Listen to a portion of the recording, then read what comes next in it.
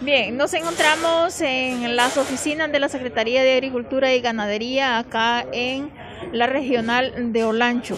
Estamos con Marilia Guifarro y em, Misael Velázquez. Eh, Marilia, hoy están entregando por parte de Aprocafé pues secadoras. ¿Cuántos beneficiarios eh, van a entregar. hoy? ¿Cuántos beneficios van a entregar hoy? Eh, las secadoras que vienen para el día de hoy son 55, para 55 beneficiarios. Y este es dándole seguimiento, entendemos, a otras entregas que ya han realizado. Sí, nosotros le estamos eh, dando seguimiento. Esta ya es la cuarta entrega para productores que están afiliados a Procafé.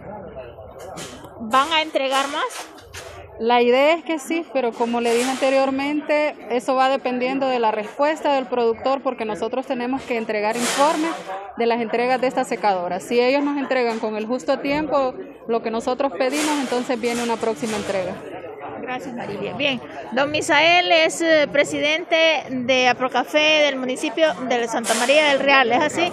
Bueno, ¿cómo reciben esta ayuda tomando en cuenta que pues, nos han dicho que es de mucho beneficio esta secadora?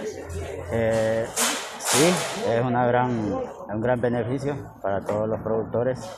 Eh, bueno, necesitamos, eh, todos los productores necesitamos esta secadora, ¿va? pero bueno, yo he platicado con los productores del municipio y me, han dicho, y, mi secadora, ¿no? Les digo yo, estoy en proceso.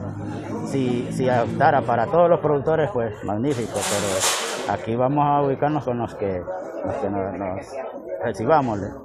Entonces, pero sí, es una gran ayuda para todos los productores. ¿Qué tan productor de café es el municipio de Santa María del Real?